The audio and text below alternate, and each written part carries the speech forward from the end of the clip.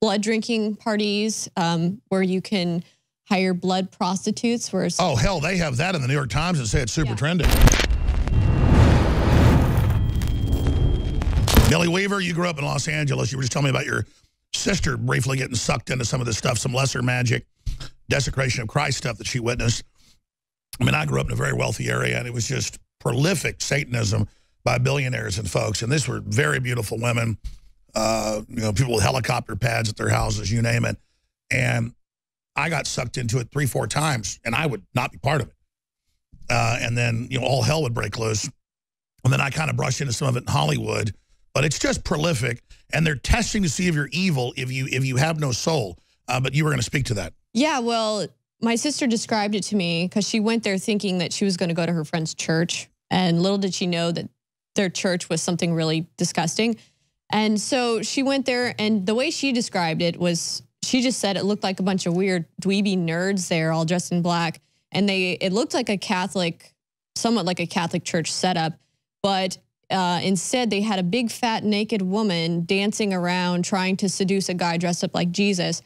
And then she ended up like seducing him and kissing him. And then they all took like a mass to it, like how you would see it, like a Catholic. Which church. is low level blasphemy. Yeah. And she said she didn't take the mask. She was really freaked out. And she, you know, never went to anything like that ever again. And well, that was just a nerd group. But you were telling me yeah. you personally, though, ran into some other stuff too. But yeah, you know, there's all kinds of stuff. I mean, I've had, I've heard and had people tell me about um, blood drinking parties um, where you can hire blood prostitutes. Where oh hell, they have that in the New York Times and say it's super yeah. trendy. Yeah, they they. Oh my God, so trendy. They have blood prostitutes, and they're basically people that their blood's clean and that they will basically be like, here, hook me up, you know, and they get paid to give people their blood, and these old guys all sit around and drink these young women's blood. Usually it's usually women, but I don't know. It's all about selfishness.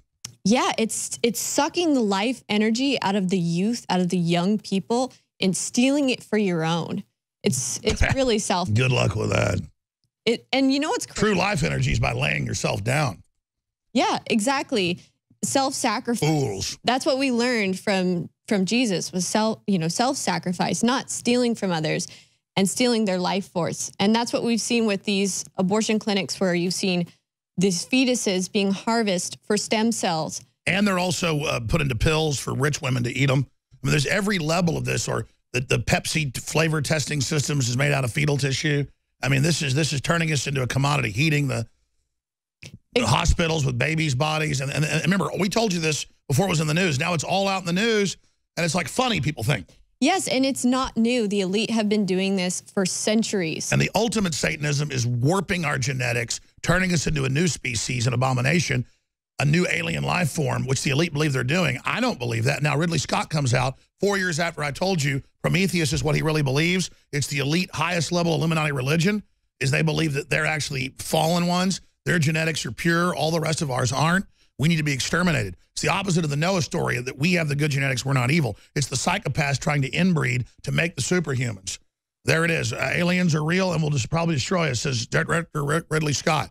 Now, I told people four years ago that's his secret belief because I was told by that, by that by people that work with him. It's all secretive, too. The guy's in a space cult. Well, you know, if you want to check out more... Hey, guys, Google this. Alex Jones, the elite are a space cult.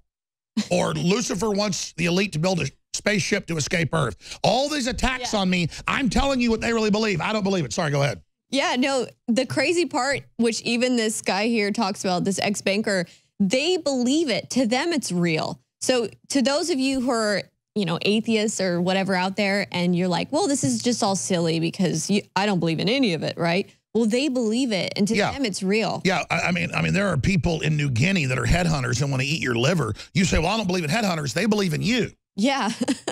it's like, oh, the devil doesn't exist. Okay, there are people that manifest that archetype that want to kidnap your kid, torture them for their own personal enjoyment.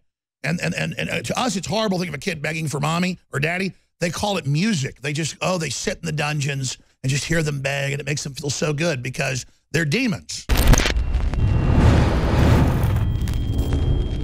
What the aging process is, is when the cell replicates, we lose a little bit of our telomeres. Telomeres are the little cups on the end of our chromosomes. And when it runs out, you start dying. Secure your DNA force today at InfoWarsLife.com.